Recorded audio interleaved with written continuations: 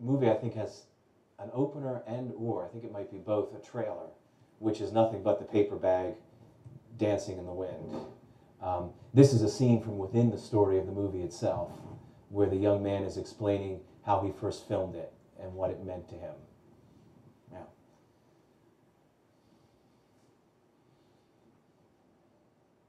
Questions, thoughts? Is it possible to leave us with the last one from the trailer, or can we not get that one? The, the longer version of the paper bag? It would take, Take too long to find it? Okay.